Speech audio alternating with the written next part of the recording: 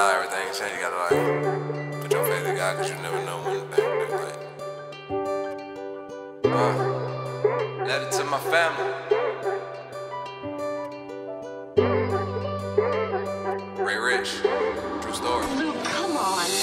I just wanna say some things I never got to say. I'm sorry for the little screws I had in my head. Now I'm doing better, God putting me together. We no longer together, but our children will do better. Riding solo, doing 120 on the dash. Got the plating about life, praying I don't crash. Lately I've been feeling like I let my uh. belly down.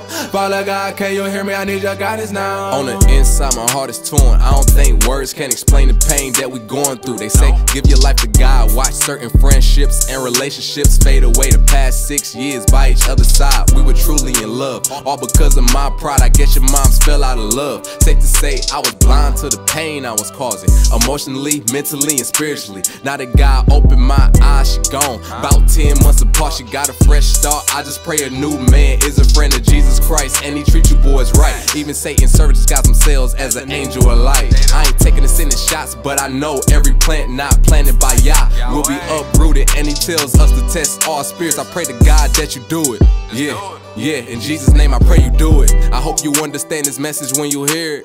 Co-parenting the monster, but I maintain.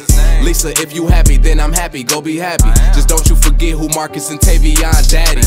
When I needed you the most, spiritually you faded. Biggest battle of my life, me versus me. While becoming the man God wants me to be. Safe to say he's preparing a woman for the new me. Safe to say we already crossed paths, huh? I don't know, all I know is letters will be done. Time to tell until then, we gotta raise our sons. Train them up in the way they should go, yup.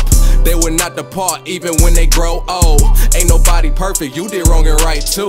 But I blame myself how I handled the past years. Father God, I'm all yours. Lord, forgive me for my sins. I just wanna say some things I never got to say. I'm sorry for the little screws I had in my head.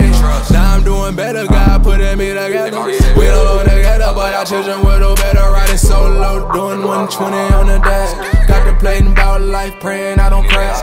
Lately I've been feeling like I let my belly down. Father God, can you hear me? I need your guidance now.